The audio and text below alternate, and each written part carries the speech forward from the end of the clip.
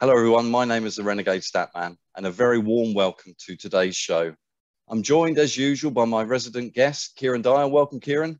How you doing? You right? I'm good, thank you. Now, you've got some great contacts in your phone, and when this name was was mentioned, I must admit, I got incredibly excited. And a huge, huge welcome and a massive thank you for coming on to the show. I, I can't even believe I'm saying it myself, but yeah, welcome, Mauricio Taricco. hey, how are you? you? Thank you for inviting me. I'm okay. I'm all yeah. right. Um, you, you're in Italy at the moment. Yes, I am. Yes. In, in, enjoying a enjoying a rest between between jobs. Yeah, you could say that. It's been a long rest, um, but yeah, yeah, um, having having a great time, spending time with my family. What I wanted to do in life, really, just uh, try to achieve or get to a point in my life where I could spend a lot of time with my family, my kids, and just live life. Fantastic. You must um, be a special guest, by the way, for me to be wearing this Argentina shirt. So, yeah, that's how special oh, you are. Yeah. Thank you, thank you. um, so going back and doing some research, um, you were on the books of, of, River Plate until until you were about twelve, right? So you then went to. I, I went to Argentino Juniors when I was twelve. Yeah. and in September 1994, so that puts you at 21. Um, when when did you know that that Ipswich Town were were interested in you? Well, at the time, I was approached by an agent in Argentina, uh, which introduced me to uh, Charlie Wood and uh, and John Lyall. Um, and then, you know, I had the opportunity. I spoke with my family. I I I, I also had a small chance or a chance really to go to Portugal. Um, Porto at the time. He was, I think Bobby Robson was there at that time. Um, but I analyzed it a little bit and I, I chose Ipswich. I, I thought England would, would be a great experience. Uh, completely different life to Argentina, of course, but uh, I just jumped to the, the opportunity. I took it and here I am today. How was it going from a change room in Argentina to then a change room with Steve Sedgley, Chris Swailes, Adam Tanner, Jason Gundy? Wait, Ian Marshall. Yeah, Ian, Ian Marshall. Don't forget about him. I won. I won. Oh uh, my god, it was it was nuts, but it was so I was lost completely. Yeah. I didn't speak English, and even if you do a little bit because something you learn in school, when you go into a dressing room with footballers, see you later, you have no chance to understand, especially, you know, scousers and, you know, different tones and different ways of speaking. And it was impossible, it was tough. Um, but anyway, I, I, you know, you know me a little bit. I just wanted to perform on the pitch and do my best in the pitch, in every training, show that I could play.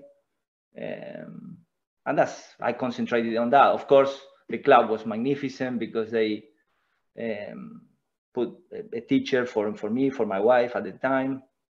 So we try to learn as much as possible the essentials. That's my wife. She's quicker than you. Yeah, well, it's not not difficult to be quicker than me. Eh, to be honest, I wasn't the quickest ever um, so yeah, I, it was tough, but uh, enjoyable, enjoyable. I'm, and now looking back, it was an amazing experience.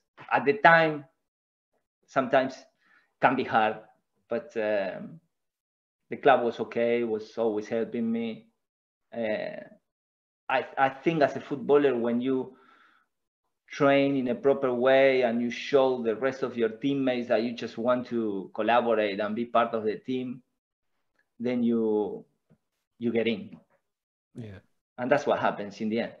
Do you think that's why, because of the culture, not knowing the language, why it took you a while to get going at Ipswich? Yeah, definitely, the Kieron, and, and not all, not only that. I was, you know, I was 173, 174 in centimeters. Uh, so coming in England, I mean, a defender, so tough. I mean, sometimes I wonder how I how I done it, how, because I mean I always had a problem on the pitch mm, coming against strong players, quick players. It was difficult to deal one v ones, and in England in particular because not only players are physically stronger than in any, in other parts of the world, um, but you play a lot of one v ones all over the pitch. There's no more. There's not a lot of tactics and you know people covering each other and helping each other a lot. So it's a lot more open, and you you have to go and back and go and back and go and back. You know, he's expecting from a fullback, he's expecting to go forward, crosses, score goals, and then come back and defend. And plus, uh, that's England. That's not Italy. That's not Argentina. In Argentina, you do a job, you mark your man, you pass the ball, and yeah, if you can join in, you join in. Yeah. Uh, so it was a, a lot of things. Uh, Paul Mason that I had to adapt. Paul Mason didn't do a lot of defending for you either. Paul, Paul, Mason, Paul Mason was one of the, if not the best player that I, I combined with. You know, it was hundred percent. I, I I remember putting my head up and looking at the space, and he was there. It was amazing. It was like uh, synchronizing with that guy. It was incredible. I always told them. I told them. Uh, simple things, but maybe we see we see football the same way when we were inside the pitch uh, and we were looking at the space. He was finding the spaces I was seeing, so it was so easy to play with him uh, for me. Yeah. I think um, there's a few questions I, want to ask you about, but when you joined, I think with with all due respect, as a fan, uh, we thought we were going to sign Gabriella Batistuta. I remember there was a headline, and we, and we signed yeah. Adrian Paz and, and, and yourself. And I think a lot of fans at the time thought that you were kind of like the the make weight in the deal and probably somebody who was coming over to England with Paz to to help settle him in. Um, but you had no work permit issues because your, your, your father um, obviously with an Italian pass, passport played for yeah. Juventus and, and Torino. Did you to sign before you signed for Ipswich, did you change your honeymoon or, or wedding plans to get here sooner? Was that what happened? I was uh, going out with my now wife. Uh, we were not expecting to get married so quickly, but when this opportunity came around, uh, I proposed. Really, I said, "Listen, we're going to England. Are you coming?" and she said yeah so in like i think i signed a contract on a sunday if i'm not wrong and we got married on a thursday and here we are still together so i'm happy. Uh, see good decision. That was the best decision. Yeah. That's the right answer. You've got that on camera as as as well. Um but is that true? To... is that true? Is that true? Exactly. One, one of the things i want to ask I will ask you kd um obviously Mauricio's mentioned that obviously Porto and Bobby Robson were were, were interested at the time. How, how would Bobby have taken to Maurizio as a as a player, having played under him yourself? He would have loved him. Uh, we were just joking earlier about his pace. Uh, he never relied on pace because he was very quick upstairs. Um, we did a podcast the other day, Mauricio, with Darren Eadie, and we were picking a combined Ipswich Norwich 11 um, of players we played with at the time. And um, he said that you were horrible to play against. You would pull him by the hair and you had all the tricks. But I said, if he would have played, if you would have played with him, he would have loved it because you know, like you said with Paul Mason, you gave the right way to pass, you gave the ball at the right time for people to exploit 1v1s. And uh, yeah, he would have fitted in with Bobby Robson. He would have loved Bobby Robson, and um, thankfully Charlie Woods could convince him to come to Ipswich. Mauricio, what what do you reckon Bobby Robson would have said about your your debut at, at home to, to Bolton in the League Cup? that I was not ready. Probably. I, I remember that game. I remember pieces of that game very well, very well. Uh, I remember going to press. I, was, I played right back that game. Uh, I can't remember who was the winger I was coming against or playing against. But I remember going pressing, and I remember the fullback putting the ball behind me. So I said in my mind, the center back is going to be there. He's going to be reading that ball, and he's going to be there. So I look on the side, and he was next to me. So we were in a line like that, straight. So he was not covering me. So I was in, I mean, it's nearly a 1v1 with the keeper. That cannot, you cannot allow that. I mean, it's better for the player to receive the ball in front of you and not giving him the chance to put the ball in behind and then run. And I wasn't going to get it. I'm no Walker, by the way. I never was, or Ashley Cole. You know, I had no that pace to recover. So I, I had to be in the right place at the right time all the time. I had, like Kieron said it perfectly. I had to use my mind and I had to use every resource to play football and to become a football player, professional football player. People don't understand this. People think, oh, he was a dirty player. He was. Listen, I did what I had to do to play football because I was in love with football. Uh, if you tell me play fair against a player that runs the 100 meters in 10 seconds, what chance do I have to be a football player? None. None. Especially in a team that was not playing the way we play, for example, in Argentina or, or in Italy, where it's more tactically, more covering each other, more helping each other, closer, reducing the spaces. No, England is a, is a game. You play a game, an open game, fantastic to watch. Difficult for me to play, but fantastic to watch. So I had to adapt. Uh, that's part. Lenny and Eddie Youds had probably been out the night before that game as well, so that's why they weren't covering. okay, you should. Someone should tell me. that's, that's, the other thing. That's the other thing. You you go in the first game and you expect certain things because you're coming to play in a new exactly. in a new world. Yeah.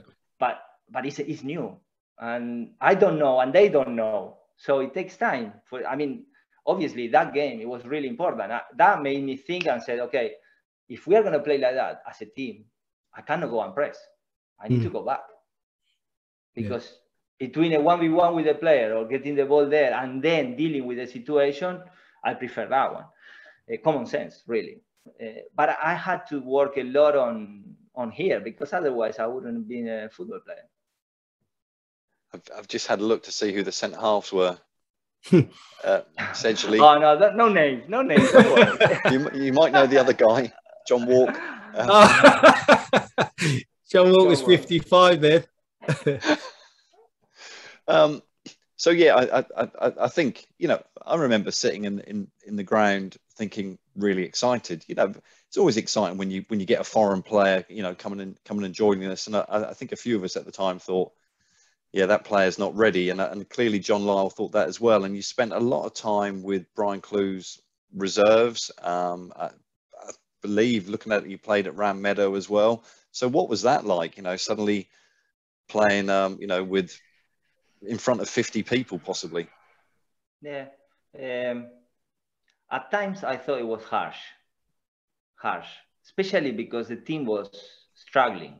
I mean, losing losing and losing and not performing and and uh, I always said the same thing and I still do uh, even when we coach I'm gonna give you if, if I'm a coach or, or, or as a player give me four or five games then if I don't perform or if I perform like that game I'm not I'm not stupid I know if I'm lacking in something and if I'm making the team lose because I'm not marking right or I'm not playing the ball right.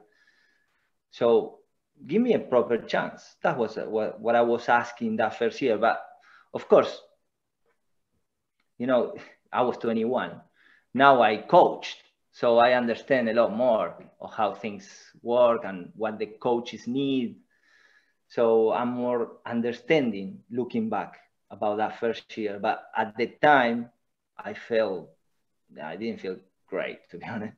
You know, well, playing at Bury St Edmunds at minus ten degrees or whatever it was, it was uh, it wasn't easy. It wasn't easy, especially because you see if you see the team performing and winning, you think to yourself, okay, the team is doing great. I need to get better. I need to get stronger, and I need to go there. I need to earn a place. Uh, but that wasn't the case, so I, I felt a little bit harsh then. Were but, you were you yeah. were you still training with the first team and then go back and play twenty for the twenty ones? Well, you no, were. No, no, I was training with the first team. Okay.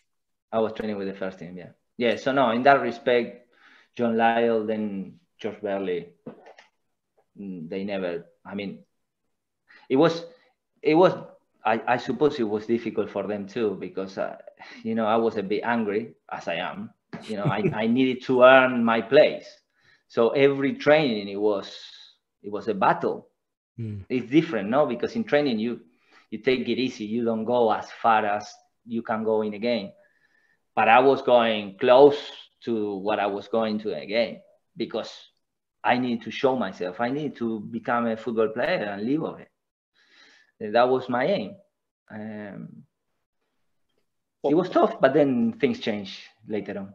With with John Lyall, a lot of people who have worked under John Lyall at their time at Ipswich says what a guy he was and what a coach he was. Even though you didn't play as much as you like, did you think he was a good manager and a good coach? The, the issue is that I, I I was with him for a couple of months. You know, Yeah. he left Yeah, soon after. Uh, Yeah. Not not much. Then George Burley came in. Uh, not re- it, what I remember of John Lyall, it was like a, a father figure, a proper manager father figure, right? When you sit down there, he was big guy in front of you. It was like an important figure, and he was always nice and gentle. So, you know, I felt comfortable with him. Uh, obviously, with uh, Charlie as well. Uh, Charlie helped me a lot. I still, I'm still in, t- in touch. Yeah, I Charlie still speak to Charlie too. yeah yeah yeah but uh, uh, in terms of the training sessions i couldn't really leave a lot of it because he left Too soon. soon after yeah Yeah, he he was uh, he was sacked in December '94, and, and George Burley arrived. But obviously, you, you still still didn't break into the to the first team. Did did George have a conversation when it, when he joined? Just um, speak to you about what his plans were. yeah he did uh, Spill the i'm thinking if I'm, I'm thinking i'm thinking if i should do the what happens if vegas stays in vegas but uh, it was a kind of a heated conversation. I remember one phrase he said, but then you know, in e- the years after, we we got on well at the end. But you, at were time, you were his son. You were his son. He loved you the best. yeah, he he, you know, you know what I mean. Yeah. completely the opposite. Uh, at the beginning, of course, he didn't know me, and I wasn't prepared to for the English football. So I understand. I understand him now. At the time, again, I was. I thought it was harsh. Uh, just saying for because of the players coming from another continent and he doesn't speak, or you know that he cannot play you and he, he cannot give you a chance. I thought it was a bit of an excuse at that time, but he was probably right. You know, I was probably not ready, and uh, and all that period gave me time to understand more English, to see the games, to see how how to to be able to go into a pitch and perform, and knowing what's going to happen when I go into the pitch. Not like that first game that I didn't know. Uh, so, and I completely understand the fans now coming back to to what you said about Batistuta. I think the press was. I remember reading the press and saying, "What the, what are they saying?" I mean, what? I mean, I'm a fullback from Argentina Juniors, 21. That's it. You know, uh, Adrian was a great player um, in Argentina. He was he played as a winger. I came, I, I played against him, and he was a tough player, very good. Um, but obviously, it was not Batistuta. Batistuta was Batistuta, nine of the national team. Mm. You know, it's like I don't know, you- two different players.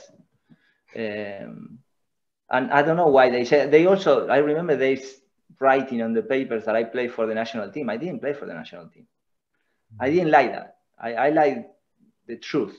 You know, don't don't go about don't don't say things that are not correct and not right. But then again, you know, the press. What can you talk about the press? I, how, how were how were the press different in this country to Argentina? I think they were a little bit more respectful. Argentina is a disaster. I mean, it's like Italy. In in England, people are more respectful in general. Uh, I mean, I you know, for people that play in Argentina or, or lived in Argentina, it's, it's a different story, completely different story. England is another level. Uh, end of the season, you, you played once. Ipswich were relegated from from the Premiership. Did did you think you made the bad decision at that time? No, that that is something that no. I remember I asked the club permission to go and get married because I was married by uh, the state, you know, but not by church.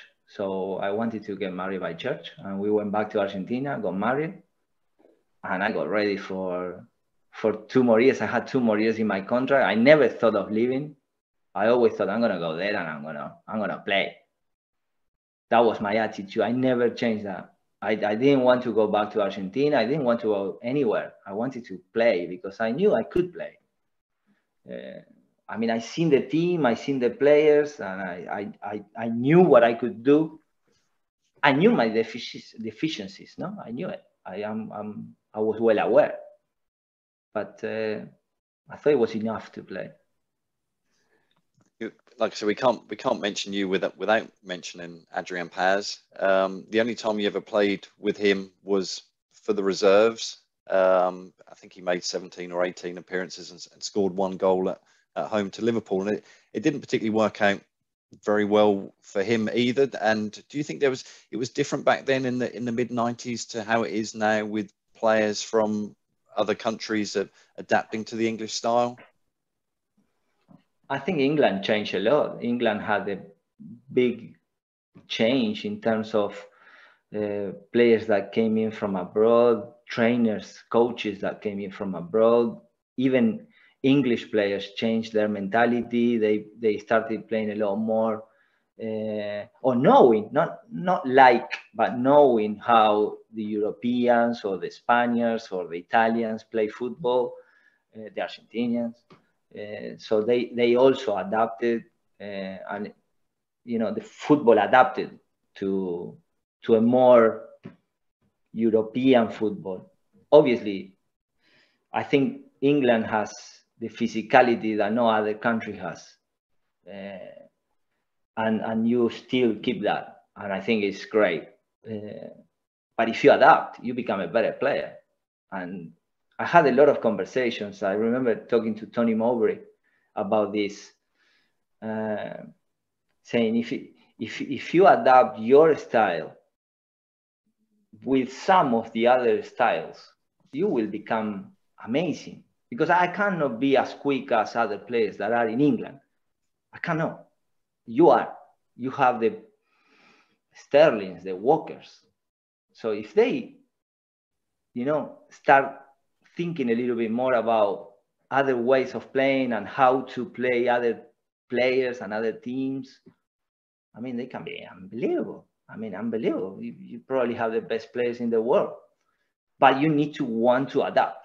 If you are saying and closing your mind and say, no, no, we are going to play like that. We're going to put the ball in the channel and we're going to run.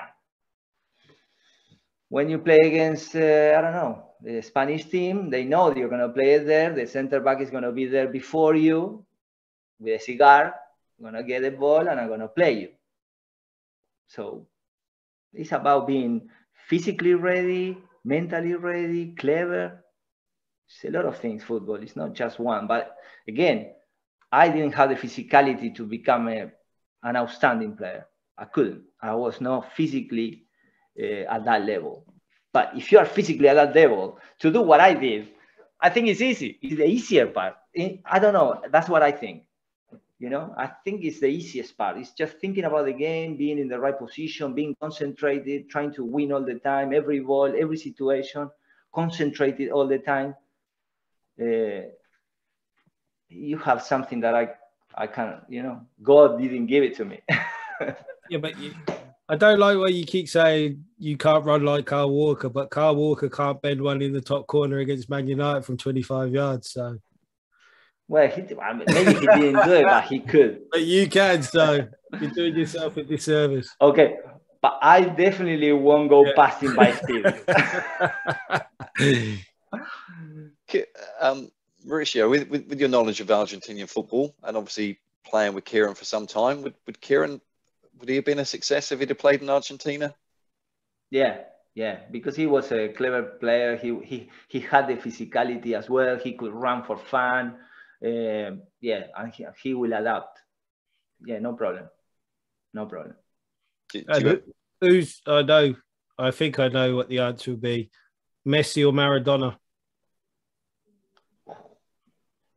I think you're wrong because I, I, I guess I, go Maradona. I yeah, I get I guess you will think that I will go for Maradona. I always go Maradona. Wow, it's a tough one. Eh? I think for, if if I if I'm gonna talk about just quality and football, I think I will go for Messi. Mm-hmm. If I want to play with a player in my team, number 10, I go for Maradona.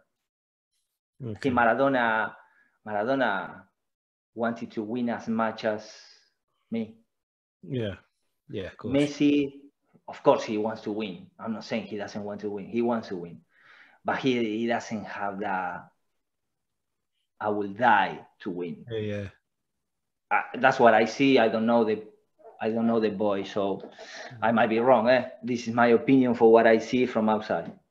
Yeah, it's fair point start of 1995 96 and a, and a bit of good fortune you possibly could say neil neil thompson um, got injured which gave you an opportunity to come back into the team. Do you do you know how that conversation went with with george burley and yourself at that point?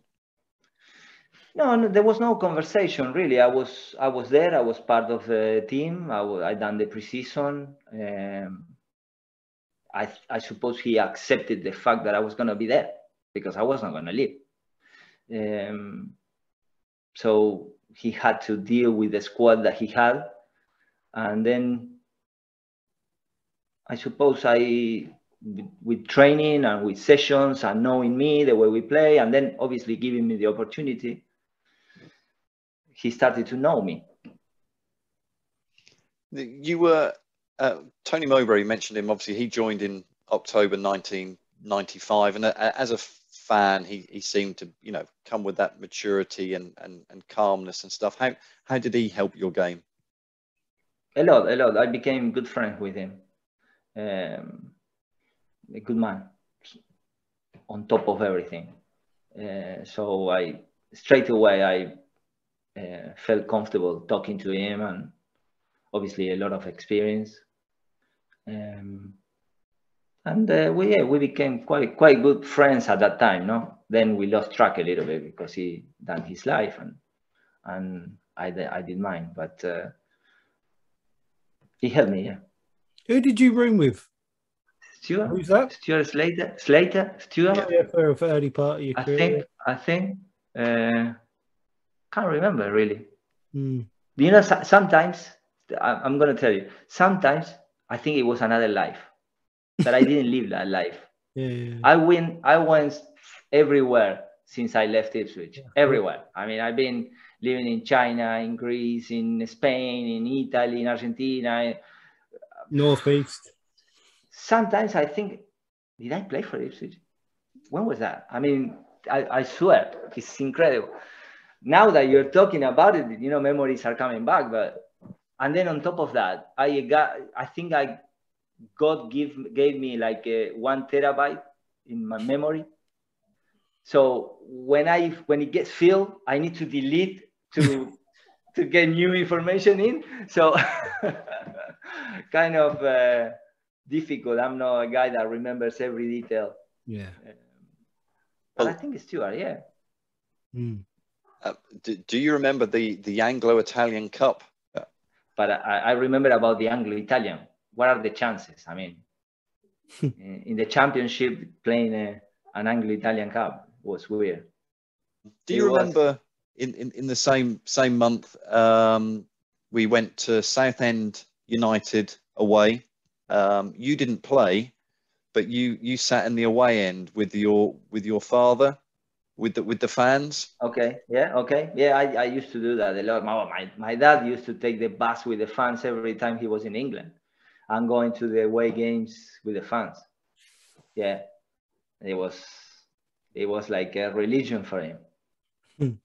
i remember coming back coming back after the game with the coach and he was waiting for me or I, or I was waiting for him depending on the, if the fans but normally the fans arrive before us.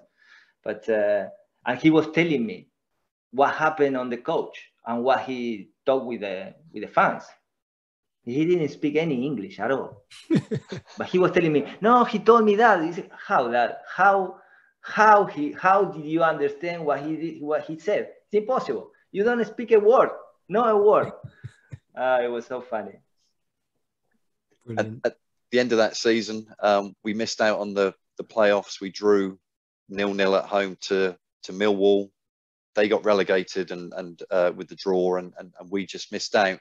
We bring bring you up to 1996, 97, um, and we'll we'll come up to your debut in a bit, Kieron. Um, but George Burley, it looked like he kind of, you know, going back, he switched his his, his style to more of a, a, a wing back kind of play, and I just wonder how that kind of did that suit you more? It appeared to suit you more.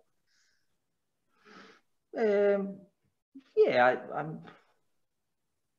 I don't know. I I think the the players that he had available gave them the team more than his influence on. Okay, I want to play this way. You know, I remember when he arrived, he wanted to for the football really to keep it simple and play the channel and go forward and let the strikers to run the channels. And I remember those conversations at the beginning.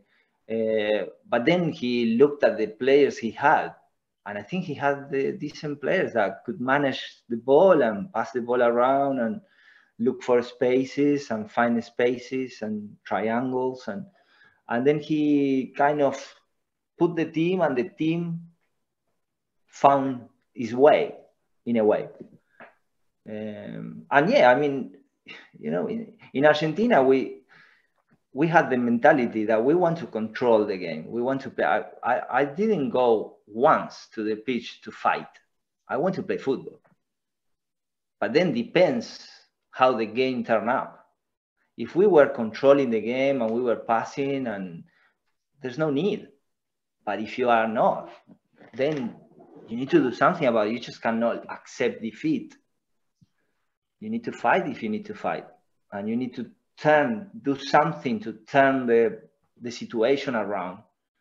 Um, and that's why i reacted sometimes the way i reacted because i was in oh the team or me was in difficulty and we needed to i needed i felt i needed to do something to to turn it around.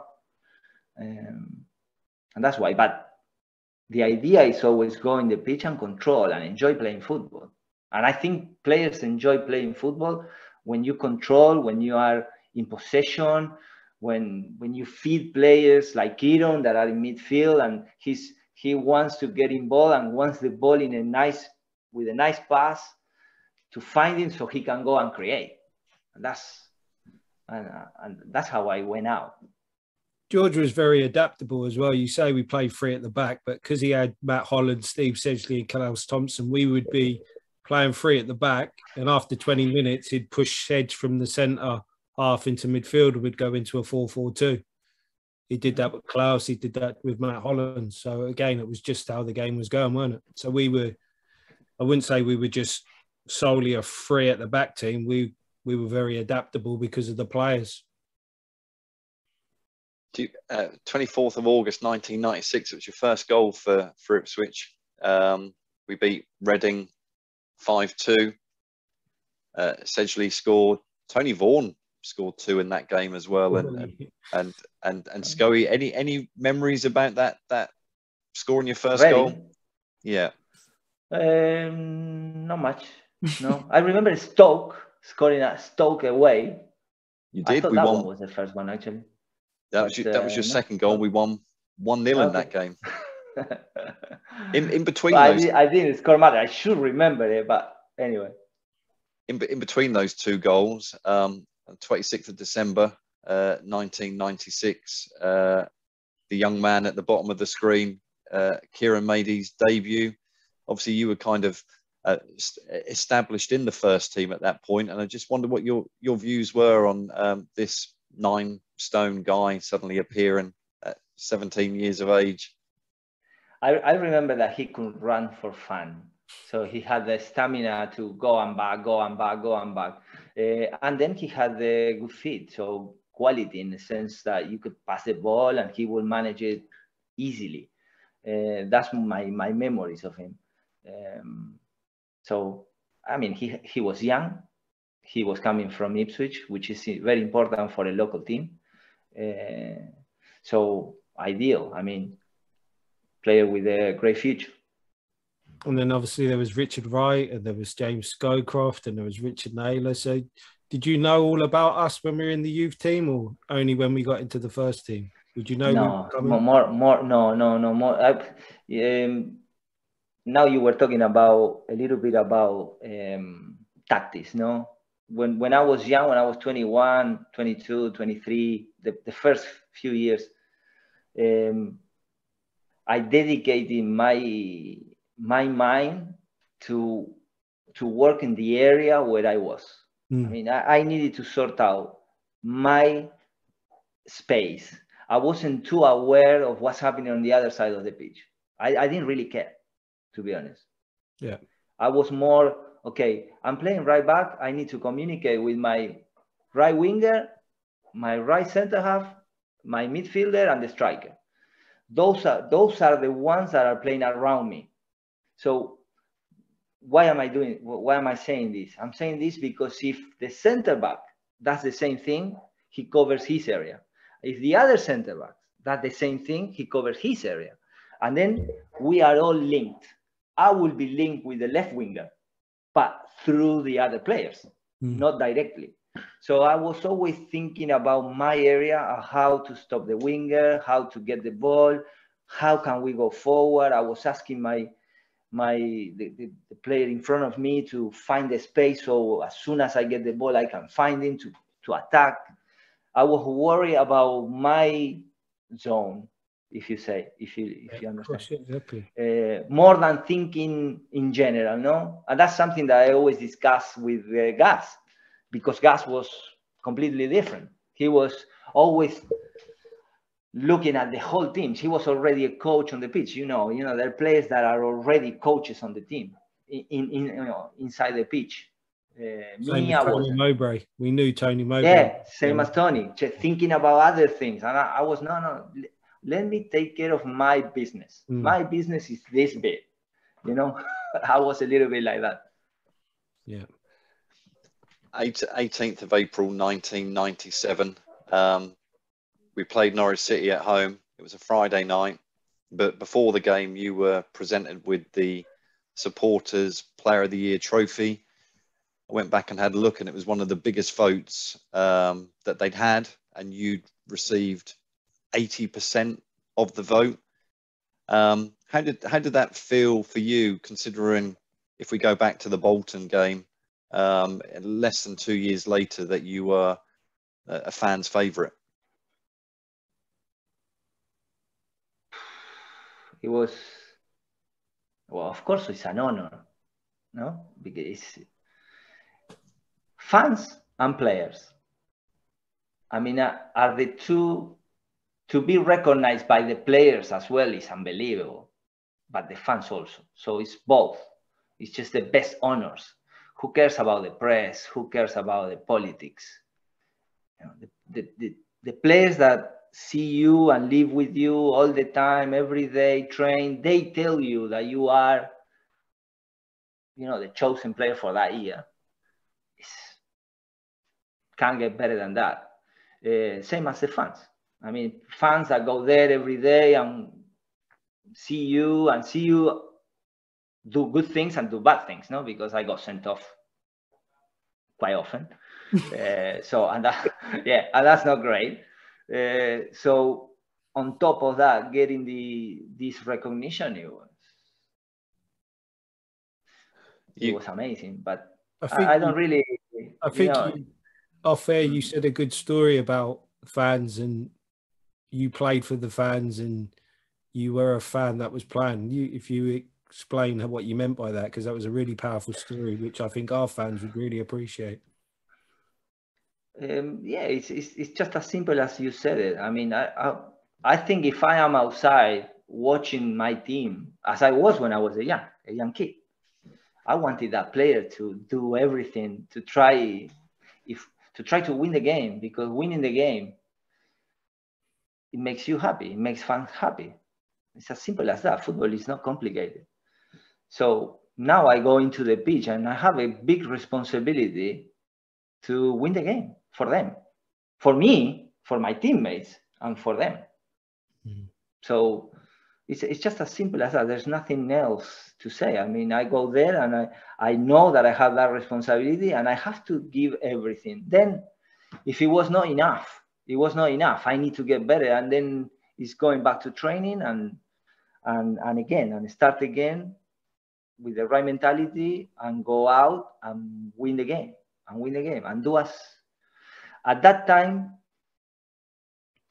in, in Argentina it's, it's all about winning. So even when you when, when I was a little kid playing in, in the local neighborhood team, it was about winning. So I'm winning somehow, anyhow, win.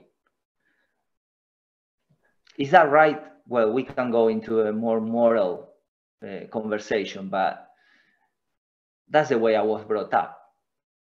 Now I don't know if I would do exactly the same. I think I would, but uh, I think I would. But you know, in, inside the pitch, I think I have an obligation to win the game for my fans.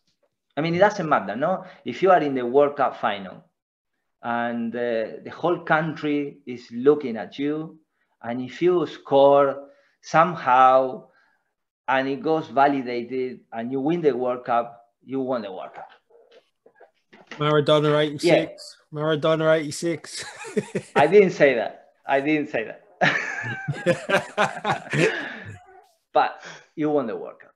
Yeah. Uh, is that the best thing to win a World Cup? No. No. And I would love to win it playing the Guardiola way with Barcelona. Yeah. I mean, amazing. Amazing. Congratulations. But also Diego Simeone wins somehow. Mm. And somehow we need to win. It's that's the business we are in. Otherwise, if we don't win, we get sacked. Coaches get sacked people at the ground and the stadium get sacked because you get relegated if you don't win. So at the end of the day, we are in a business that you need to win. So that Norwich game, um, you you you paid back the fans. Obviously, they they awarded you the trophy, and, and you paid back by scoring the, the, the first goal in a in a two 0 win against Norwich. Paul Mason scored the, the second. Do you remember much about that and that goal? It's a it's an iconic I, I photo. That. that that I remember. That I don't forget. I don't forget. I was nuts. Mm. When I scored, I was nuts. I went nuts. Brilliant. My face, I remember my face in the on the on the clips, just shouting like a crazy. But I didn't score all the time. So the, also for me, scoring it was not like you know, an striker that scores 20 goals a year. He scored one more. It's one more. For me, it was important. Do you remember what George Burley gave you as a gift when you won Player of the Year award? Yeah. Have you still got it? Share. Yeah, I still got it. Yeah. Uh, it's a great gesture. Great uh, gesture. Alberto Tarantini shirt, which I think he, he swapped. Yeah. That's right. Yeah. That's Fantastic. Right. What a yeah, lovely. So right. at that point, I guess as as Kieron says, you you became his his son, and he was he was um looking after. Yeah, which you. I, I I, I, I wasn't that comfortable about that. You know, I don't. I, I think a, a coach needs to have a good relationship with the, with all the players. Uh, but uh, I mean, if I did something wrong, you have to go for me. Go for me. You know, no favoritisms. Um, at, at one point, it looked like you know I was kind of untouchable, and until he until he signed Matt Holland. but okay, okay, but uh, uh, I, I don't, I don't, I'm nothing special. I'm one more. I always thought one more, no one less, nothing more or less from the rest, and a teammate is no more or less than me. We are all the same, and we are aiming to achieve something. Um,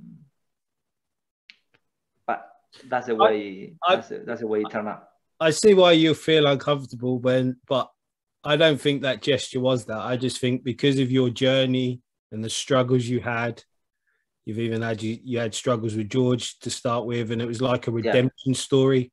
Yeah, and I yeah, think yeah. that was fitting that he kind of give you that share to say, "Bloody hell, what a success story this has been." That you got the fans, so I don't think he I appreciated that. favoritism 100%. It was just more like No, no, no. the whole journey, weren't it?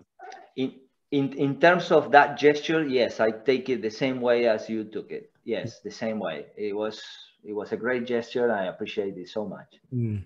Um, but then after that as well, um, you know, I remember games where things happen on the on the dressing room, and maybe, you know, I remember incidents where maybe the assistant manager was having a go at the team, and I said something, and and maybe he was saying, no, no, no, no, Mauricio didn't do nothing wrong. Fucking hell. Can't say that. Go with your uh, with your assistant, mate. Go against me. You need to go against me. You go against me. That's Yeah. the way it is. Uh, and because it, it, it puts you in a difficult position also with your teammates. So you need to be fair. And if you dis- if a player deserves to be told something because he's not doing it right, you have to say it. And the player needs to be strong enough to learn and take it. That's football. That's life, really. It's not Mm. just football. It's life. we we get to May 1997. You've, like I said, you've you've just been awarded the Player of the Year uh, trophy. We're in the playoffs. We play Sheffield United um, in the playoffs. We draw one-one away from home. I think Mickey Stockwell scored a, a late equaliser for us. Um, And he drops, George drops Paul Mason for me away at Bramall Lane, which must have upset Mauricio.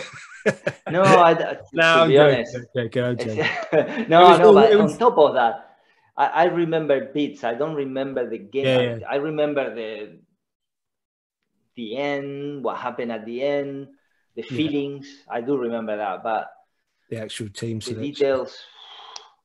He obviously he left he left Paul Mason out because it was away from mm. home, and it was a exactly. bit You, more, you had more yeah, more it makes defensively. looking at that, it makes sense. Makes sense. and then he obviously brought Paul Mason back in for the for the home game. But we got a great result, one one at Bramall Lane, It was. Yeah.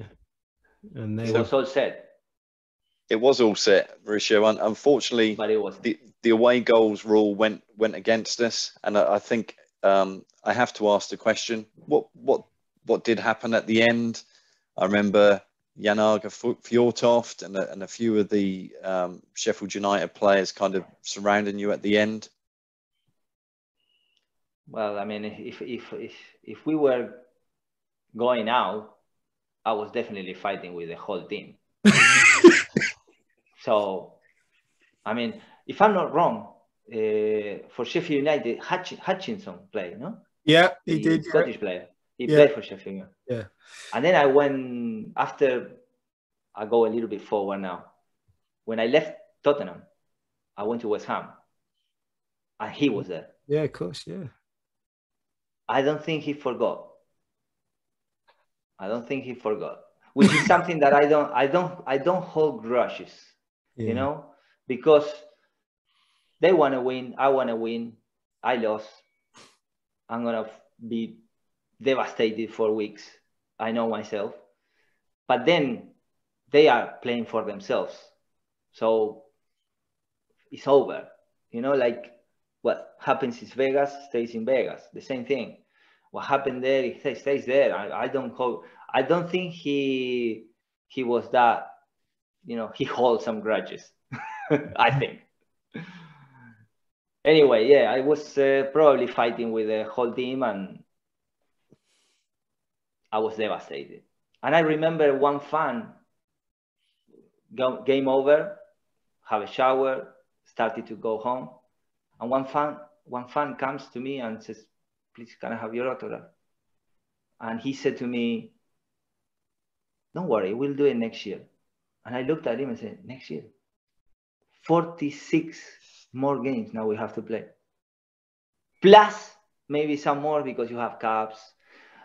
And then maybe. No, it was today. Today. It wasn't next year. You know, don't talk about don't tell me about next year. I, I understood, I appreciated him trying to comfort me. There was no comfort me. There was no chance. I was dead because I wanted, you know, the same way I felt, I'm sure the fans felt the same thing. I'm sure. Because it, even more, because the fans, they stay there all the time. I mean, I kept, then I, my life went to other places. The fans go there still to support their team. So yeah. they would be devastated as I was. The only thing I would say to the fans is don't worry, I'm devastated as you are, no less. I, I because the way I am, I, I, that's one thing I hated about football. I took it so badly, the defeats, so badly that the winning times were not, it didn't compensate the bad times. Mm. Don't compensate it for me. Losing for me is the worst. So it's something that I had to work on myself, really. Eh? It's my problem. But that's why I, I did everything to win because once you got the victory, then I could live peacefully the, the, the next week. Yeah. The 1997-98, like you already hinted, Mark Mark Venus, Matt Holland, and and and later David Johnson came and signed the signed for the club. Uh, kind of strengthened us. But I want to go to the 14th of October 1997, um, home to Manchester United in the in the League Cup. Uh, as, as Kieron just said, uh, said a little bit earlier, he scored a scored a great goal. Do you remember much about that game? Yeah, I remember that game. Um, of, of course, I remember the the, the goal, but I remember also for for a bad situation. My wife was in Argentina because her mom was ill. Mm.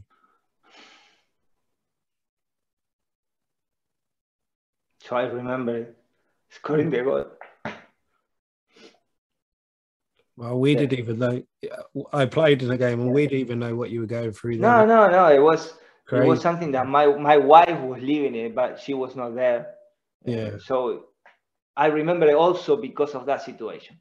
Yeah. But uh, yeah, it was it was great as well. Was there everything of, okay with? Did everything okay with your wife's mum? No, oh, no, no. So oh, yeah, yeah, yeah. She passed away. If not that day, soon after. But yeah. I remember my wife not being in England and being in Argentina looking after her mom. Mm. So it was right at that time. I remember scoring and thinking, oh, look, shit, they must be watching maybe TV or so it was it was it was a memory. Yeah. Yeah. And it, it, it was it was a great great goal, and I'm, I'm and I'm sure and I'm sure that your your, your mother-in-law was very proud. So um, I want to I want to take you to December uh, of that year. It's the first time yeah. that transfer speculation came about, and you were linked with a, a move to Sheffield Wednesday. Um, was that just paper talk? No, I, I, guess because the only thing I knew that there was an interest team for me was Birmingham, not Sheffield. But I don't remember if it was at that that period or later on. But Mick Mills was assistant no, manager then as well. At Sheffield. At Birmingham, ah, Birmingham. Mills was um, and Trevor Trevor Francis was the manager. Yeah, Trevor Francis. Yeah. I knew I knew I knew that Trevor Francis was yeah. for maybe interested. Yeah. But nothing official. Eh? So maybe there were talks, but no, I, I didn't know anything like official. Mick was Mick Mills might have wanted you to get you away from Ipswich because you might have took his mantle as the best fullback at the in the club's history. no, I don't think so. I don't think so. You only had another 700 games to catch him. exactly. January 1998, uh, we're at home to, to Chelsea. It's the League Cup quarterfinals. Uh, we, we go down 2 0. Uh, I, I certainly remember that just going into half time thinking that this tie is, is all but over and then then you pop up just before halftime to to score us a goal. Would you can you kind of tell us about that whole kind of game? There were some there were some great players that played for Chelsea that day, and and mm-hmm. um, yeah, what Ruud Gullit was player manager yeah, yeah. and came off the bench. Um, just be, your, your, thoughts about that Zola, game and scoring. Zola played, didn't he? Zola played. Yeah, the team was um, Ed De Goey, Lambourde, Lambourde uh, Danny Granville, uh, Sinclair, Frank Leboeuf, uh, Myers, Dennis Wise, Roberto Di Matteo, Tore Andre Flo, Graeme Le Saux, and uh, Gianfranco Zola. And the subs were um, Gullit, it must have been Steve Clarke and Mark yeah. Hughes. Mm. Do you remember yeah. that goal, Mauricio? Yeah, I remember that goal. I remember. I remember that I pass the ball to the striker and I go forward to the rebound. How? Why? I don't know, but I went. And somehow, falling down, I stuck it in. Uh, they they all yeah, came. It was good. Um, obviously, we drew the game two two, and it went to yeah. the in, to the penalty shootout. Um, do you rem- remember much about your your penalty? I think your, yours was the, the the second one. Adam Tanner had scored the first. Yeah, I remember also that. Yeah. Uh, which made me realize that I'm not a t- penalty taker. I was not a penalty taker. I took two penalties, I missed two. So you need to be a special player to take penalties.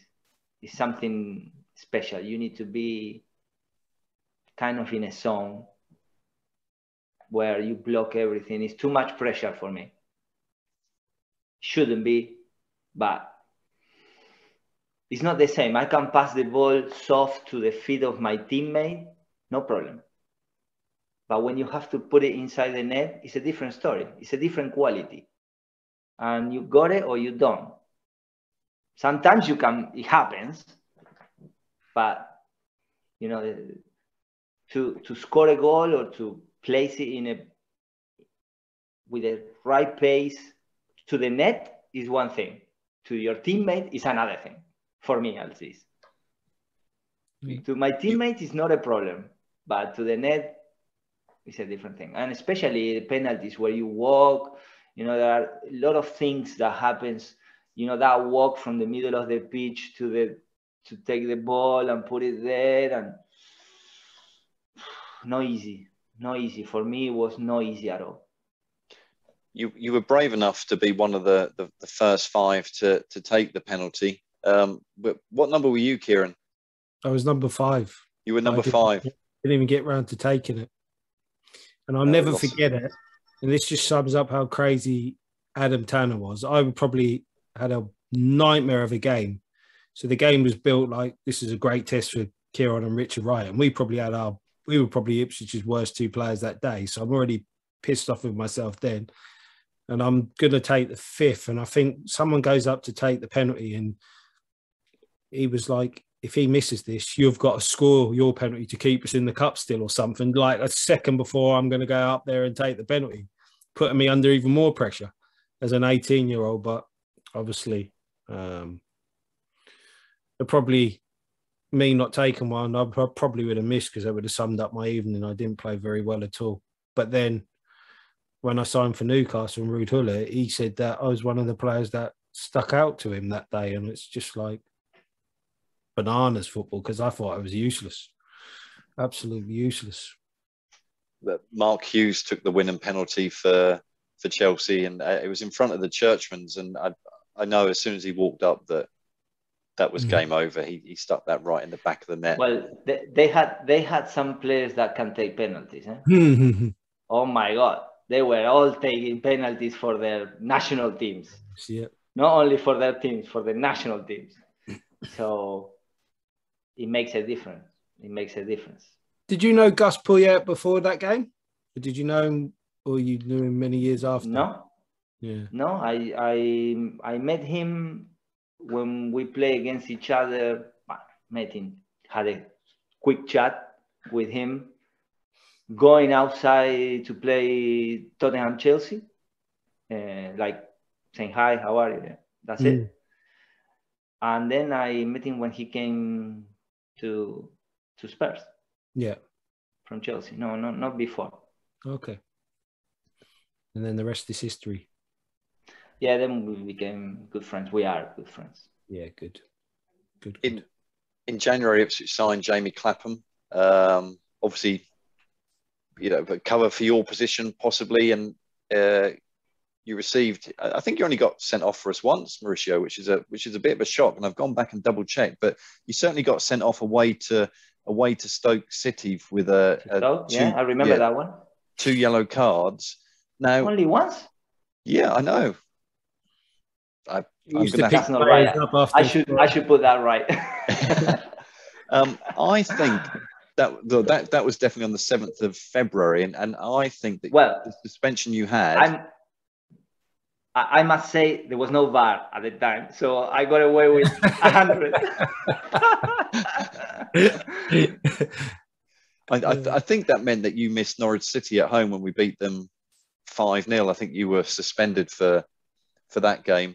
Uh, but moving towards the end of that season, like it always is for Ipswich Town fans, it would seem we're we're in the playoffs again. We're at home to to Charlton. Uh, we got drawn against Charlton. Um, just wonder if you remember anything about Danny Mills's uh, tackle on you in that game, which got him sent off. No, no, not much. No, no, I don't remember that. I, I remember fighting with a with a winger at the time that was Heaney. on loan was from Heaney? Heaney? Is there a player called Heaney? From Man City. Yeah. He, he, we had an incident after the game. I don't know if you remember. I can remember. But uh, yeah, but uh, again, that's an incident that what happens in Vegas stays in Vegas. Hmm. So we they uh, but Charlton, we talked about the Sheffield United game. I thought over the two legs we were probably the better team, especially at the home leg. How we lost that game, but Charlton over the two legs, they just did an absolute number on us. We didn't play. Yeah. We were, yeah, well, uh, yeah. We didn't play with any. Yeah, we didn't. Yeah, they. Yeah. I don't know what happened. I, don't, I just that's one of the big mysteries to me. We were so poor in both games, even one nil down going to the Valley in the second leg. We just was just had nothing, nothing about us. Just like yeah. what yeah. Still to this day, still I sometimes think back, just going, where was the? I don't know, mm-hmm. because we did stuff. If I can remember rightly, we started off that season so slow, and it took us a massive effort to get into the playoffs. And it was like maybe we put so much energy trying to get into the top six that we were flat as a pancake. Just couldn't believe yeah. it because I, I, I thought we'd beat Charlton. I really did. It's, um, the, I, I, think playoffs is they're, they're finals. They're finals. Um, and it's difficult if you're not used to, the players are not used to playing finals.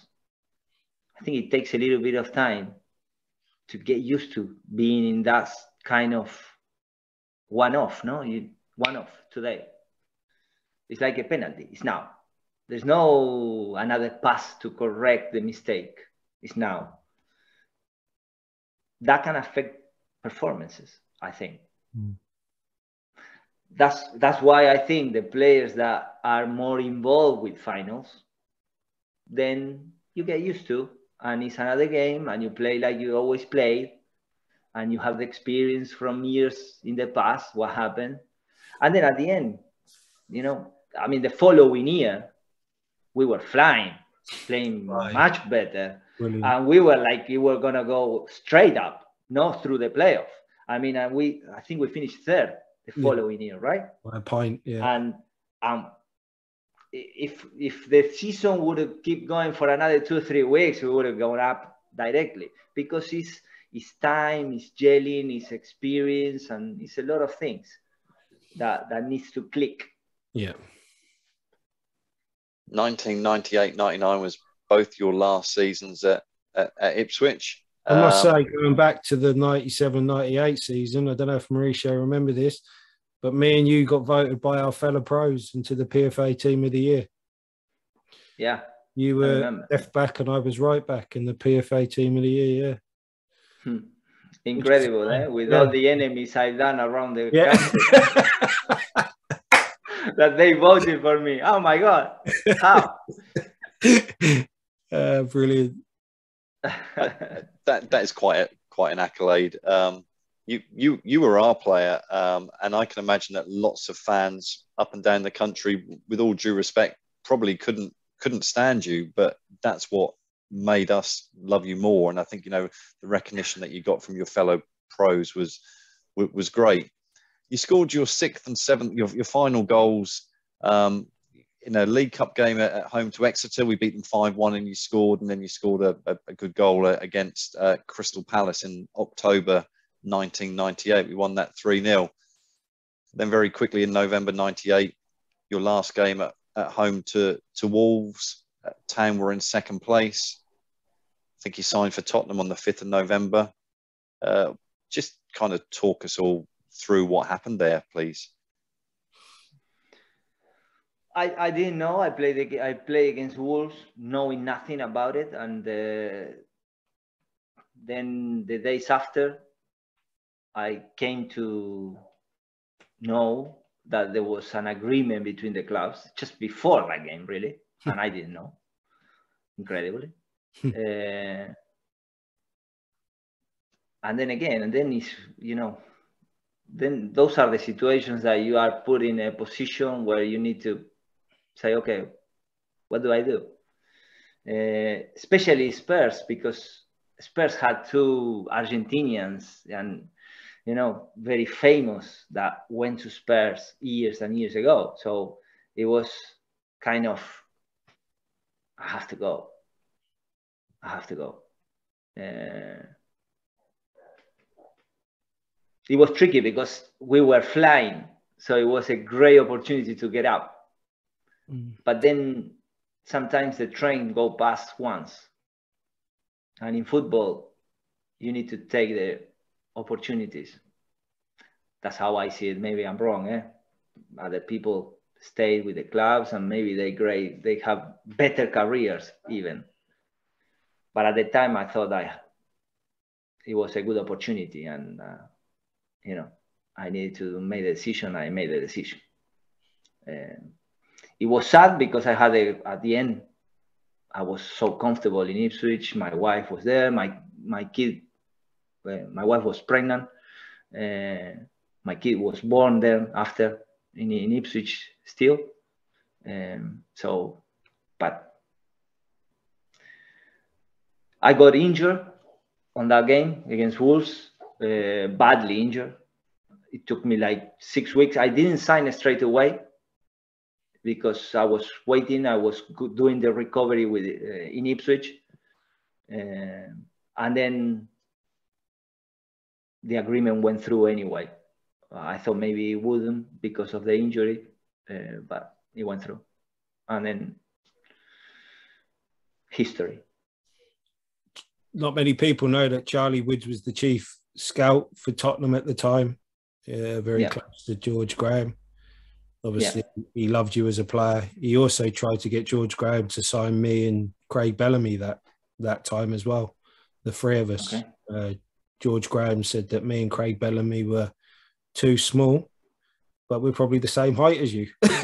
no, you are you are taller than me.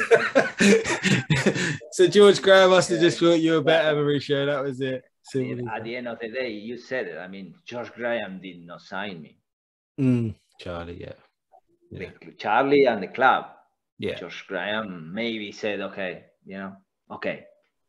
Yeah. Maybe because he saw maybe one of my tackles, and you know, yeah. in the future, you know how he signed Ben, no Thatcher. Yeah. Of course, yeah. So, um, I think so. Good. But of course, yeah. I mean, I was not the kind of player for for George. Even though, even though I must say that uh, he had a some kind of like a bad publicity in, around him because the way the way he his teams played Arsenal, know, close, dirty, know. Uh, but he also he wanted to play. He didn't want to defend like everybody said. He wanted to be organized, mm-hmm. but he wanted also his team to play. And I think he didn't. The media uh, didn't uh, appreciate that from him. I thought George Graham wanted to play football as well, more than the media said. Yeah. Yeah. Mm. We we touched on it earlier in the show. Uh, obviously, your time at Ipswich, definitely Paul Mason, your favourite player to play with. Because you two, the like, player, yeah. yeah, the player that I connected easily without effort. You know, those players that you, like I said, I remember getting a ball from wherever and looking up, and he was there. I was looking there because of the space being there, and he was running into that space without even talking about it. And mm. that's what that's why it makes it not not my favorite, but in terms of the connection we had, yeah. Yeah. Brilliant. Because there's a stat he when the amount of goals he scored as a 30 year old plus is incredible. I think he's in the yeah. top four in Ipswich Town's history. Yeah. yeah. 30. And you're talking about connections. I'm lucky enough to play for my country and thing, but the player I connected with most was Nolberto Solano from Peru at Newcastle. We just had this. It was just he could put the ball anywhere I wanted it. It was just yeah. I, I remember yeah, playing against him. He was yeah. so intelligent, and he had a yeah. one on the right foot. Yeah, and that that makes, I mean, that makes me looks a better player mm. because of him. Mm. So I owe him maybe whatever happens in my career uh, that's something that a lot of people don't appreciate. They think if you are an individualist because of your physique, your strength, your, you know, that you can play because you get the ball and you are so strong, so powerful, so quick, you don't need of anybody. But if you are a smart player with certain qualities, you need your teammates. Mm. And having the, that connection uh, is incredible because he becomes a better player because I gave I gave him the ball, and he makes me look a better player because he's in the right position. Because if he's not there, then maybe I'm in one v one and I lose the ball, and you say, "Oh, you lost the ball. Come on, don't lose the ball." But I didn't lose the ball because he was in the right place. Yeah. Not because of me. Me it was just a simple pass. Mm. If you know what I mean. Definitely. And did you prefer to play right back or left back? It's one of the great left back. Left back, yeah. Left back, left yeah. back, yeah, left back. At the beginning, when I started, I thought right back was my area.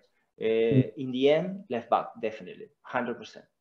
Um, George Burley kind of hinted in his in his program notes that he he the decision was kind of made out, outside of he you know he didn't have a lot involved in that. Do you remember about the transfer and how how that was instigated?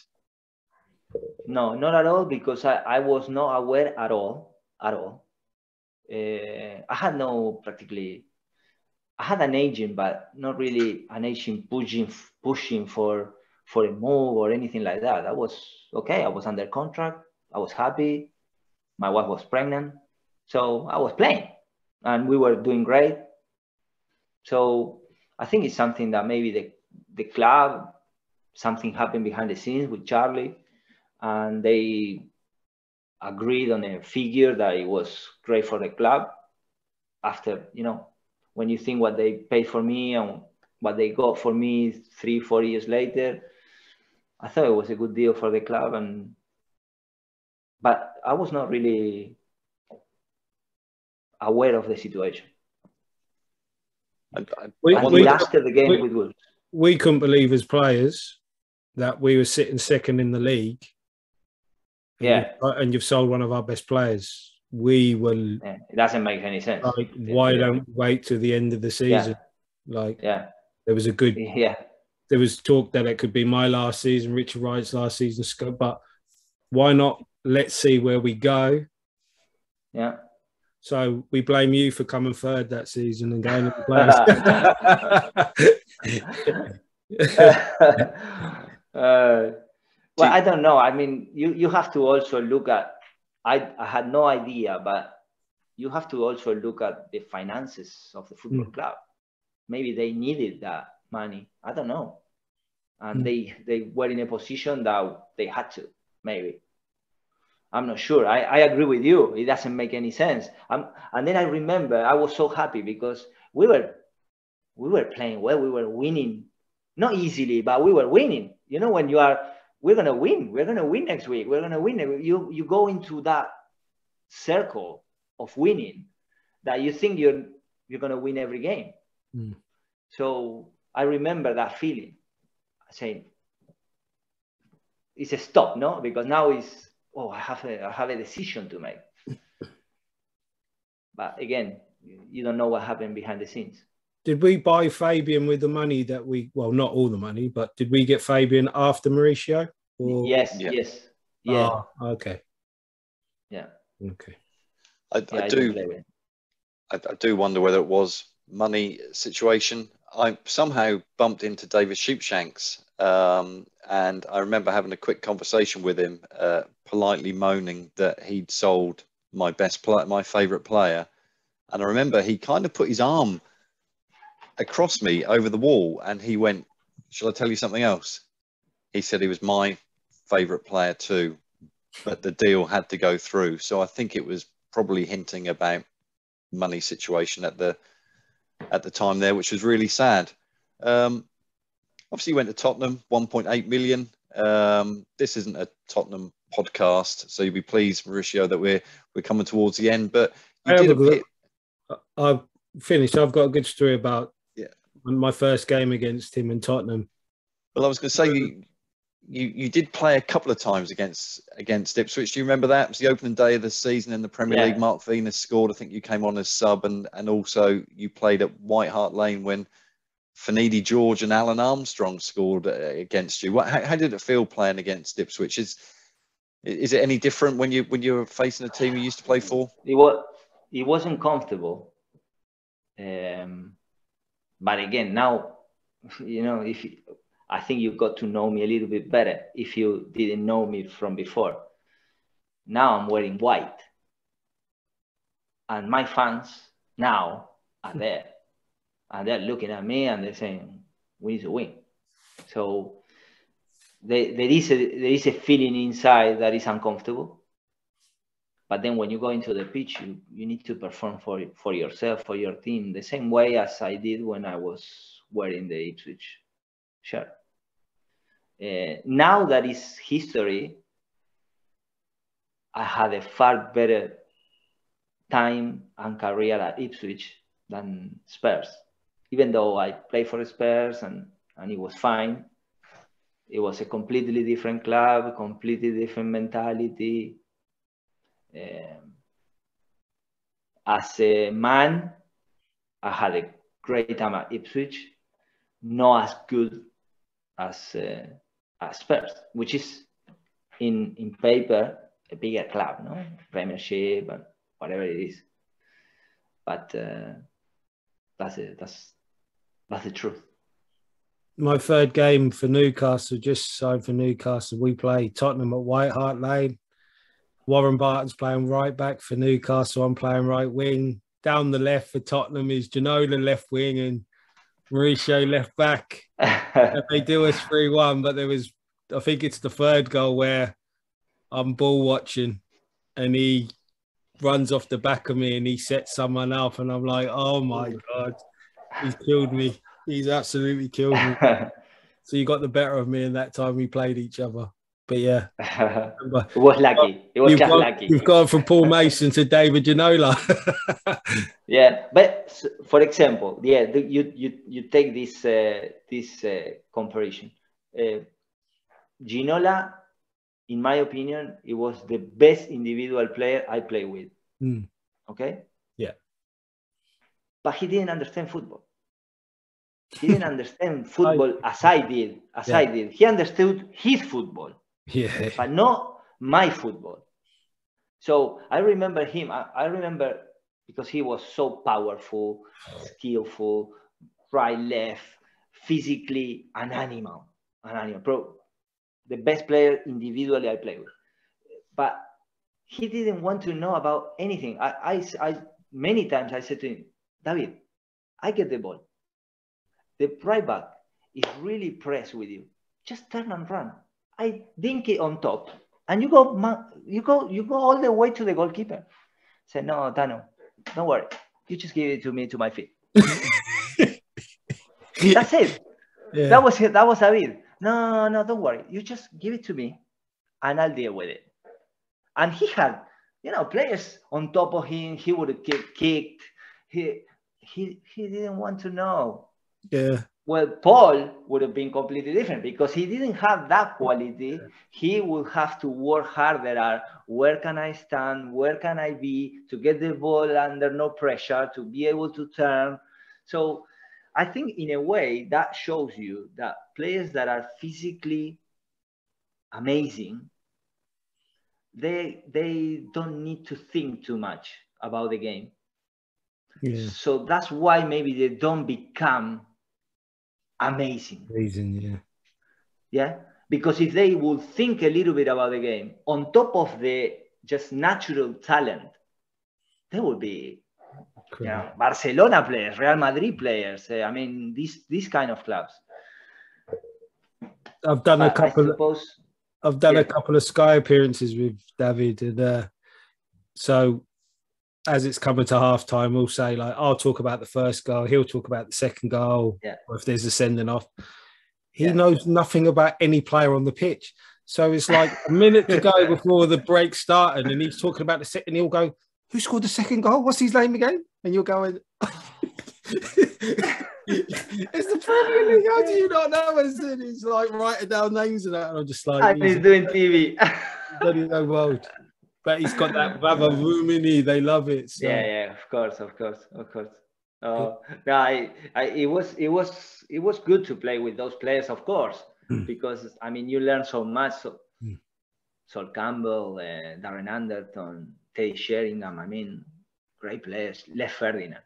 Mm. Les, Les was my salvation because when you were under pressure, you just had to think in front of him. That's it. It's in the bank. Money. The ball is in the bank Yep. and it's you know playing with those kind of players those quality it gives you another another way out but at the same time there's another issues with those kind of players no it's, it's you, you you take the good and maybe you get some bad and vice versa when with mason on the comparison with mason no it's, it's so clever that it's another another kind of player um, but it was uh, in general you know it was great learning from everybody Good.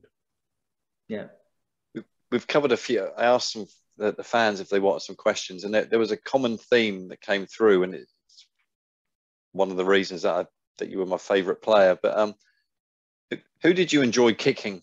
Which, which players did you enjoy kicking?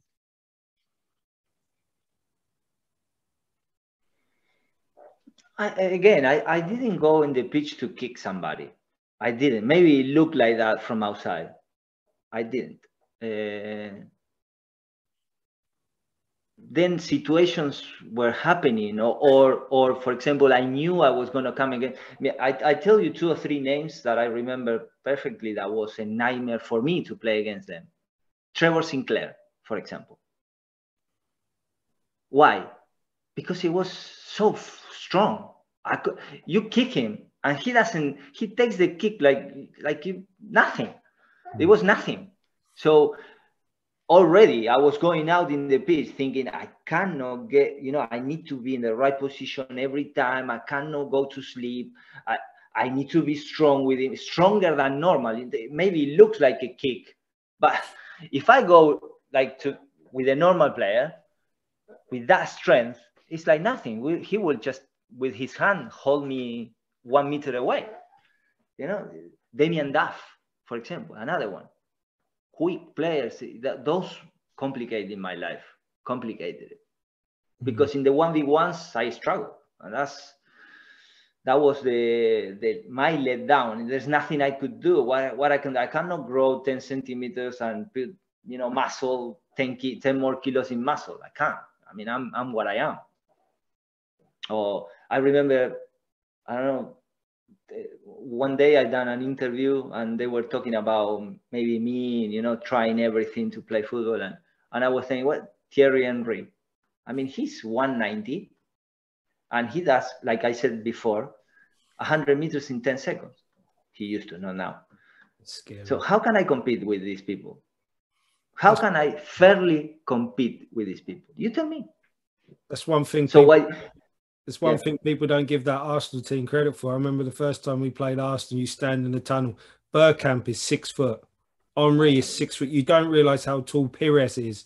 They're all machines who were probably technically the best players in the league, and you just and Vieira is at the front, and you're just looking at him like that, going oh exactly, oh exactly. Vieira, I remember Vieira. You cannot get the ball around him because he will, with his legs and hands, He's like a spider. It's like a, mm. a I don't know.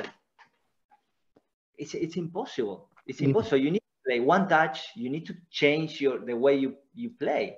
Where imagine those players having the ball and having that facility, you know, in them. It's it's so much easy. Mm. So much easy because I cannot attack him. If I go, he will go past me. So I need to wait. That gives him time. Yeah. I don't have that time because he knows that he can come at me and I'm not going to go past him. So I need to play and, and around and be more clever and quickly, one touch, two touches, get rid of the ball. For that, you need your team in good positions. That's why, for example, coming back to Mason being in the right place, if someone attacks me and Mason is already there, boom, I do one touch, bam, it's in Mason. That's it. I done my job. Um, I'm a footballer. But if I don't have that exit, then I get trapped. And these these people that you mentioned, they trapped you. You don't get away then. You lose the ball. I lose the ball. Mm. Um, well, these things that maybe people don't know, but maybe now they know a little bit more. How, how, how did Robert uh, Robert Fleck in the in the derby when you scored against Norwich? He, he came back with um, stud marks on the back of his uh, through his shirt. Do you remember how he got that? Because I think he might have uh, said it was you. When was that? Robert In Fleck, a- the big fat Norwich striker. big fat. it was maybe I was falling and I fall on top of him. Yeah, I reckon, that the one? Yeah. I well, think so. It was an accident. Come on, it was an accident. The accident happens. uh, don't don't don't. Not every situation is me doing something wrong. I just want just wanted to check that. Um, one last question has come up a lot. Um, have you ever been close to applying for the Ipswich Town manager's job with you and you and Gus? No, no. I, I don't see myself as a manager. I mean, that's not something that comes natural to me. Mm. You know, is uh, I'm uh, for Gus is natural. Um, why I get why I was happy to work with Gus because we see football in a very similar way. Uh, I remember being here in Italy when he was not coaching yet, uh, and thinking it would be fantastic to get a team. We were talking and give the players what the managers did not give to us in a way, no? Just to treat players the way we wanted to be treated when we were players. Uh, and that's how when, when we started working and what we've done with Gus was that was exactly that just giving the players what they want or what we wanted when we were players it's quite it's, it's kind of easy no in, in in the sense that i mean don't do to others what you don't want others to do to you no? And basically this is one step further. It's just do to others what you want people to do to you. So basically that that was the situation with us. and we started like that in in brighton uh, and there were many many experiences where we i mean we had great great relationship with the players because of this the, the at the end of the day uh, we always said the players are the most important people at the club okay uh, the fans are super important the chairman is super important, the coach is super important, but the ones that put the ball in the net are the players. So they are the ones. So you need to try give them the best possible opportunity to perform. In my case, for example, I played a few games in Brighton for Gus it was unbelievable. It was so easy. Because he prepared the team in a way, or we prepared the team in a way that it, it suit my style, my style. There were always options to play, always angles, all the players in the right areas at the right time. So you didn't have to compete. You didn't have to be powerful. Okay, the last third, the last third is the most difficult. The, there you need quality, you need the strength, you need, but 70% of the, from your goal to the 70% of the pitch, if you are in good position and you understand the game, it's so, you can play so well, so easy. It could be so easy, and it was so easy. I remember games that I played for Gus, saying, Gus, it's easier inside than outside. Because sometimes you see it from outside and I say, well, how, how he could not see that pass. But depending on the shape of the team and how he put the team on, on the pitch, it was so easy. Um, and that goes to a little bit to the coach putting the team depending on the players that he's got. Okay, adapting to a little bit to the players, and then obviously with his vision, the players trying to adapt to a little bit what he wants. But at the end of the day, the important thing is for me is to know that the players are the most important. Mm. Uh, I know it can be harsh. Chairmans don't want to hear that. You know, there's a lot of chairmans that have big egos. No, it's my team. Yeah, but if the striker doesn't put it in, you you get relegated. Mm. Yeah, you can go and buy another player. Yeah, okay. Yeah, you are important. Yeah, I'm not saying you are not important but a lot of people don't like it. Um, we, we just say uh, we see it. I just say uh, as I see it. Then try to be respectful. I don't want to hurt anybody's feelings. but if you analyze it, it's the way it is. Uh, it's, it's the same with the fans. I'm not saying the fans are not important. The fans are, fans are, are always going to be there and are key. And they can help you turn the game around. And yeah, but at the end, you know, the, if you put the ball in the center of the pitch and the full, the, the stadium is full and the players don't go out, that ball doesn't move. Stays there, eh? 100%. Yeah. So, so, so if, uh, so if Gus rings you up six months down the line and says the Ipswich job's available, I've got an interview. If I get it, would you come? Is it something? I will. I will go. I will go with Gus because I felt so comfortable. I always feel great with him. He's honest. He talks the truth. Um, coming back uh, to the to the fact that why I don't see myself as a coach, I think the, the or manager, yeah. manager needs to. I, I don't mind dealing with players. I like it. Uh, I don't like dealing with the media. I don't like dealing with politics. I don't like dealing with uh, uh, extra football stuff. I don't. I don't, and I will. I know I will. With my character, I will. I will fall out. Yeah. Because uh, you know, if if a chairman wants to hear himself or wants to hear from me that he's the most important, I'm sorry, I, I can't say it. I can't. I can't because you're not. In my opinion, you're not. You are so important. Everybody is important in a football club, but there are priorities in my list. Players are at the top. Yeah, good. Um, thank you, Mauricio. Um, very honest, and it's a great point to end. Players, players are at the top, um, and and you were certainly at the top of top of my list, and you'll be pleased to know that 25 years or so after that you've left Ipswich, that many many people think of you. Um, and what a great player and respect everything that you've done. So thank you ever so much for, for your time. Uh, wish you well in the future um, and look forward to seeing you somewhere or another in, in the in the dugout um, going forward. Thank you. So, I'm I'm I'm honored that you say that, but I'm just normal. Yeah? I'm nothing special. you're don't worry. Superman. You're Superman, Yeah, I just, Mauricio. I just, I just, no, I just play a little bit of football thanks to the players that were around as well that helped me to achieve what I what I achieved. Um, And- nothing more. And last summer, Mauricio, I did a um, I did a one to eleven, the best eleven that players had played with at Ipswich, and everyone who had played with you, you made their eleven as well. So you were talking about accolades from your, you've had the fans Oh, wow. perspective, yeah. So you were in Richard Wrights, Scoey's, Moggers, Vinos, everybody. So everybody, you weren't left out of anyone's team.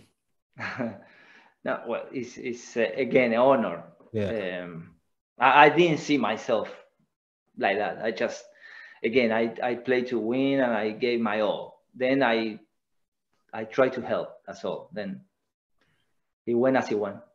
yep. And Okay. Hopefully, Thank see you, on one day Mauricio. back at Ipswich. Thank you for thank you for wearing those shirts. Yeah. Much appreciated. What's on the back of your shirt, Kieron?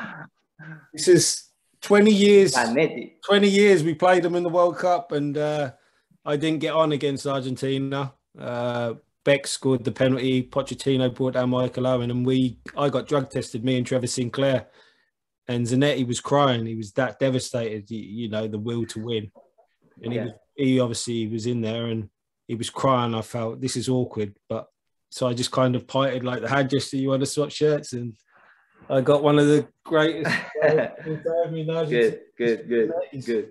so I had to run And you need to do- my old shirts. You need to do me a favor. Yeah, One day, if you go across David Beckham, yeah. you need to tell him it was never personal. It's a It never great idea. yeah. That's but I mean, if to- he listen a little bit and he, if he Yeah. listens what I'm saying, it was never personal with anybody. It was just my way. yeah, But I didn't, I didn't have it with anybody in particular. I just was a little bit nuts to win. That's it. brilliant. But if, like you said, if I would play with him, I would go to death for him. Of course, But yeah, anyway, brilliant, some people understand it, some people don't. It's the way it is. brilliant. Oh, okay. What a brilliant way to end. Thank you, Mauricio. Thank you very much. No, it was a pleasure.